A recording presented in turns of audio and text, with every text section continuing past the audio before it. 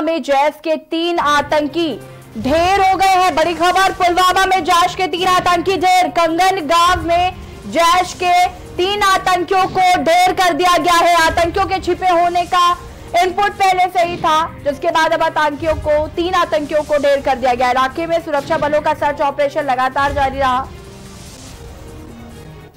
बड़ी खबर आपको बता रहे हैं, पुलवामा में जैश के तीन आतंकियों को ढेर कर दिया गया है। कंगर गाँव में जैश के तीन आतंकी ढेर कर दिए गए। आपको बता दें कि आतंकियों के छिपे होने का इनपुट पहले से था।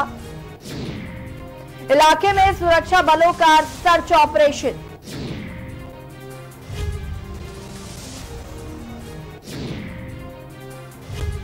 बड़ी खबर आपको बता रहे हैं, पुलवामा में जैश के तीन आतंकी ढेर हो गए हैं। आपको बता दें कि कंगन गाँव में जैश के तीन आतंकी ढेर कर दिए गए हैं। आतंकियों के छिपे होने का पहले से इनपुट था।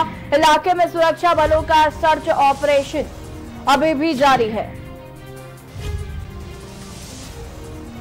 बड़ी खबर आपको बता रहे हैं, पुलवामा में जैश के तीन आतंकी ढेर कर दिए गए हैं। बड़ी वक्त की बड़ी और अहम खबर आपको बता दें कंगन गाँव के गाँव में जैश के तीन आतंकियों को मार गिराया गया है। आतंकियों के छिपे होने का इनपुट पहले से ही था और इलाके में सुरक्षा बलों का सर्च ऑपरेशन अभी भी जारी है। बड़ी खबर आपको बता रहे हैं, पुलवामा में जैश के तीन आतंकी ढेर कर दिए गए हैं।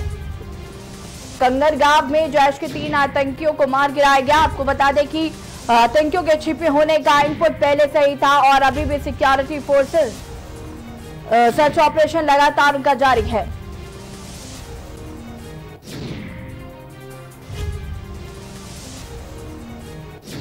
बड़ी खबर आपको बता रहे हैं, पुलवामा में जैश के तीन आतंकियों को ढेर कर दिया गया है। कंगर गाँव में जैश के तीन आतंकी ढेर कर दिए गए हैं। बता दें कि आतंकियों के छिपे होने का इनपुट पहले से ही था और इलाके में सुरक्षा बलों का सर्च ऑपरेशन लगातार जारी है।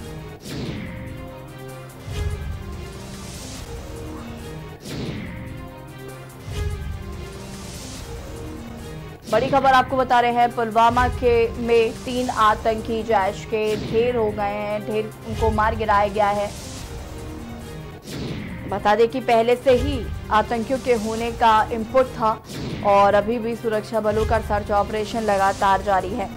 बता दें कि कंगन गाँव में जैश के तीन आतंकियों को मार गिराया गया है। हमारे सिक्योरिटी फोर्सेस ने उन्हें मार गिराया है। आतंकियों के छिपे होने का इनपुट पहले से ही था और इलाके में सुरक्षा बलों का सर्च ऑपरेशन।